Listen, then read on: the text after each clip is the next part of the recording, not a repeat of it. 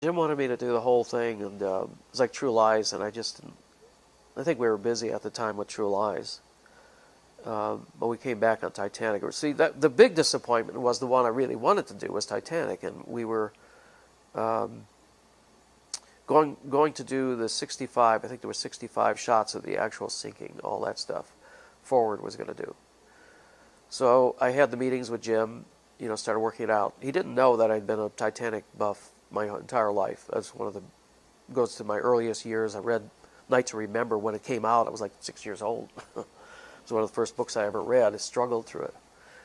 Um, but uh, his company at that time basically said, "You can't." I'll just sort of paraphrase it. You can't basically just hire anybody you want. You have a deal where we have like first right of refusal. They wanted, they obviously wanted to do it there you know, through their own people.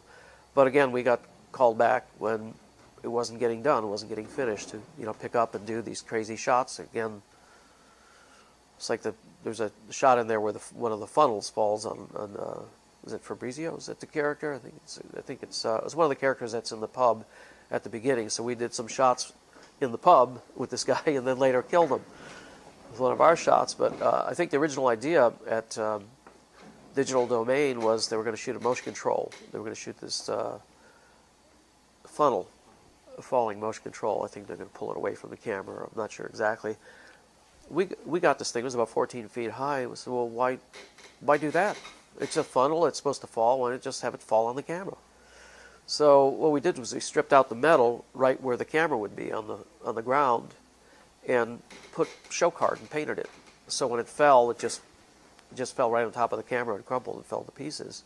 So we dropped, we just dropped it on the camera, put a little cage around the camera, and, and uh, built a little pool of water and had it in a pool of water, and dropped it. You know, we were able to do multiple takes in any any given day, and we replaced the sheet metal with uh, basically a card card stock and some light uh, metal, I think some lead, and uh, painted it to match. And um, it was very quick and quick and easy. I don't know why. Just like I, can't, I couldn't imagine shooting it any other way. I, I didn't understand why they wanted to shoot it motion control, but that was sort of the that's I think part of the reason why it was taking so long to get stuff done because everything was being done pushed through this complex window and just bring it to our stage. We'll drop it on on the camera. You know.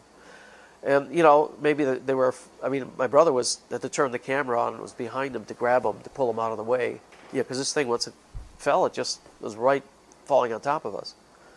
But uh, maybe it's our uh, sense of adventure. You know, I, I, think that's part of it too. We're kind of enjoy that sort of a thing. There's a there is an adventure to doing that sort of thing. You know, you ask yourself, why did I put myself in this situation? why did I say I could do this? And then you're glad that you did. You know, I've had a series of really good films, uh, Apollo 13, uh, Godzilla, um, but I think my most favorite film has been uh, Titanic. Um, I was uh, asked by James Cameron to uh, build the models on the on the movie, and um, it was definitely a daunting challenge. The uh, the model had to be large enough that we could put all the detail we wanted, but um, not too large so that we couldn't film it. So uh, we settled on about a 120th scale uh, miniature uh, for that, which would allow us all the detail that we needed and would not exceed like the 45 or, or 50 feet that they could get the depth of field with. But um, I would say that that movie was probably the pinnacle as far as uh, model building and, and, the attention to detail. we had a historian that worked with us every day. He was there, um, guiding us and making sure that we would, you know, get the model as accurate as possible. And uh, you know, until Avatar, it was the biggest film of all time. So also, you know, I mean, the good thing about that model was is that um, it never touched the water.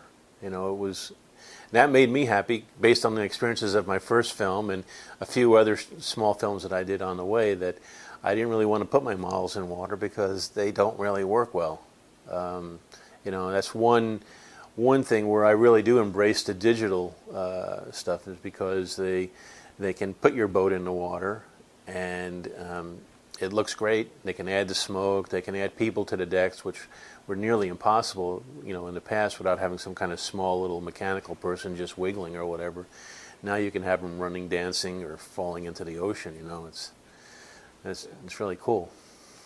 On a bigger show, I mean, you know, like Titanic is a very large show, but it seems that people are always chasing dollars on, on those shows. So even though there's appearance of there's a lot of money, um, they're always trying to hold you to a very tight line um, because they know that someplace else in the show they're going to be going over, and the model guys are the guys that they can beat up the easiest.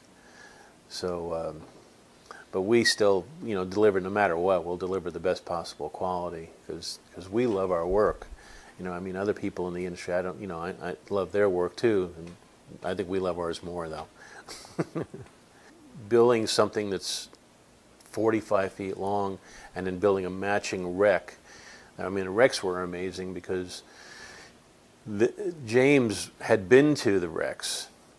So uh, one day I know he came in and, and uh, he saw a railing that was on, on, on the wreck and he took it off and, and uh, one of the model makers said, but that's in the picture here. And he goes, no, it's not here anymore. I knocked it off, so it's gone.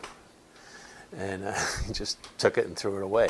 But, uh, you know, uh, there's a lot of challenges in, in our business, and sometimes uh, we're very successful at solving them. Sometimes um, we have to call in somebody else to, to solve the problem because we just, it's not within our skill set.